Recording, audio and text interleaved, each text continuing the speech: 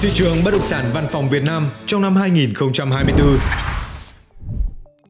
Tại thị trường Hà Nội, dự kiến đón tổng cộng 80.700 m2 nguồn cung mới trong năm 2024, chủ yếu nằm ở các quận xung quanh khu vực trung tâm thành phố. Ngoài ra, khoảng 100.000 m2 văn phòng hạng A mới cũng đi vào hoạt động giai đoạn 2024-2027.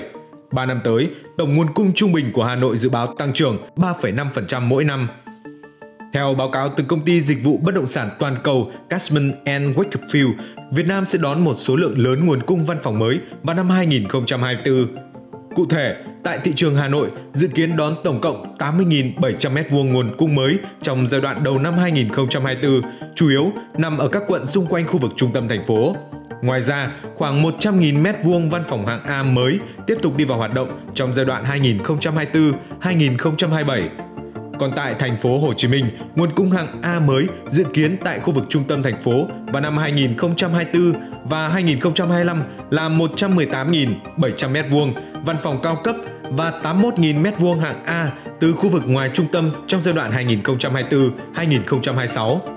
Hiện nay, đối với nhiều dự án phát triển văn phòng mới đây, xu hướng chủ nhà tập trung đầu tư vào tính bền vững và yếu tố xanh trong toàn nhà ngày càng trở nên rõ ràng hơn, phản ánh xu hướng đang diễn ra ở các thị trường khác trên toàn cầu, đặc biệt là châu Âu và Hoa Kỳ.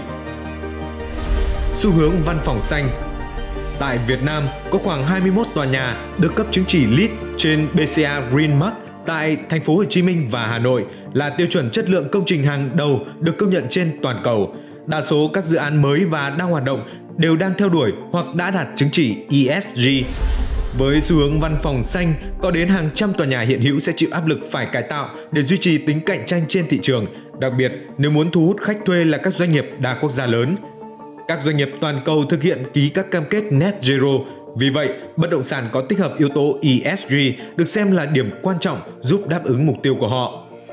Trong năm 2024, thị trường bất động sản văn phòng tại Việt Nam dự báo sẽ sôi động với nguồn cung dồi dào, đặc biệt là văn phòng hạng A. Xu hướng văn phòng xanh ngày càng được chú trọng, ảnh hưởng đến quyết định của doanh nghiệp và khách thuê.